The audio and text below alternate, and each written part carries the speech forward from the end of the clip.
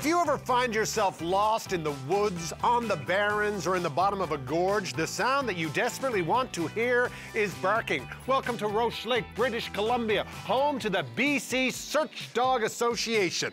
Warning, there will be licking.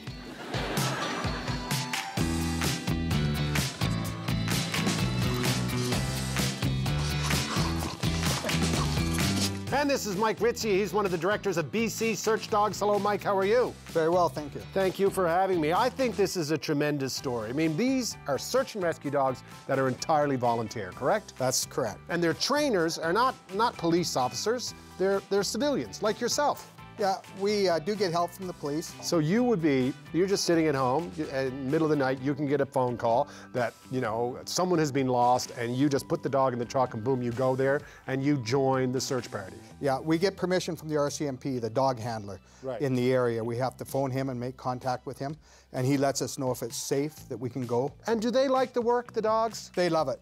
Yeah. Really? Yeah. And they get no reward. You just rub their belly, and they're happy.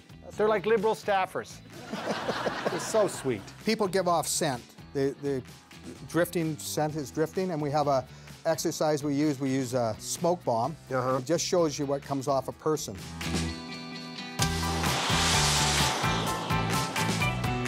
And there's the cone. See how small it is at the start? Yeah. And then it opens way up that way. So that's where the dog comes through, hits that cone, and works back and forth, back and forth. So if this is the person, so if he if he smells you, dog, dog. Oh, there you are. If he smells you like half a kilometer up there, he'll work the cone until he bench, basically triangulates to where the person is. That's right. But you see, it's always shifting. Yeah. Then it just came up in, into a cloud like this. Sure did. Now it goes up over there. I don't want to get on the plane now. Whoa, that's stinky. Smells like my older brother's bedroom growing up. Okay, now can you just quickly explain what the test is? Well, what we're gonna do is, uh, it's called a hide, so I'm gonna run away. I'm gonna get him all excited, and he's gonna wonder where the heck is dad going. Yeah. And you're gonna hold on to him. Yes. I'll keep him wound up, and then I'll just quickly hide behind a stump, and hopefully he'll find me. Okay, and this is literally one of the early tests, whether the dog is interested in playing hide and seek. One of the very, very first Because some yeah. dogs probably don't care No. where their owner is. Jock, hey, go, Jock. Hey, what is... Oh, okay, search.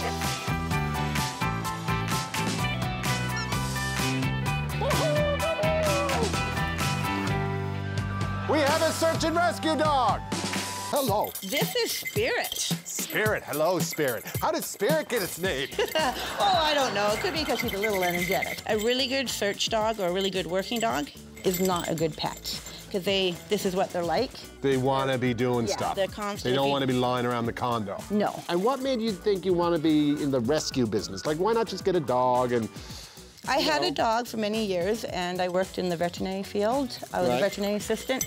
And when Katrina happened, I uh-huh. went down and helped out with the animals and I was tasked with um, helping the dogs that were going to find the bodies at the end.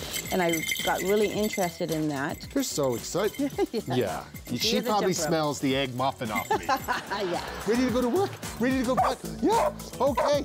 We're going to go find a person. Ready? Let's go save a life. Search. She's searching, so she's doing a back and forth. Yeah. Now she's having a pee. They do do that. Yeah, she's got to have a pee. That's okay. So the fact that there's no wind means that she has to work much harder? Yeah. Wouldn't it be strange if she found another camera crew?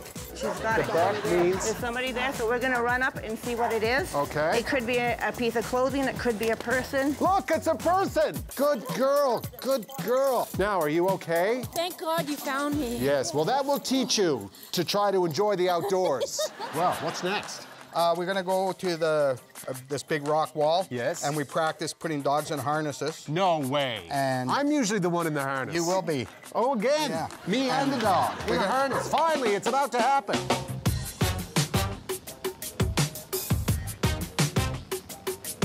And this is Chris Smith. He is a dog handler. Hello, Chris. How are you? Fine, thank you. Nice to see you, sir. And this is your dog, your search and rescue dog. What's its name? Solo. Hello, Solo. Okay, we're at the edge of a, of a rock face, And the idea is I've got to get down there and rescue someone, but uh, I need to bring your dog, Solo. How am I getting down there? Just crawling down like. Slipping and falling works Okay, too. just like you're doing. Okay. That's a bit of a drop there, eh? Yeah, I did my hammy stretches this morning. I'm good.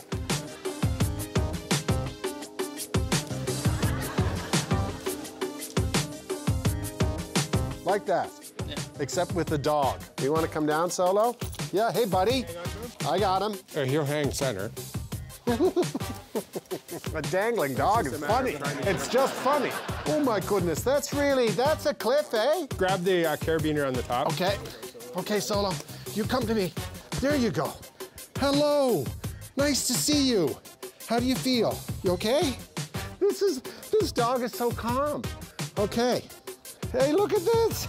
We're doing the downward dog. I think I should have a dog with me on more adventures. Usually when I'm in a harness, it's with Jann Arden. Good dog. You're not a scaredy cat, are you? Walking down the cliff.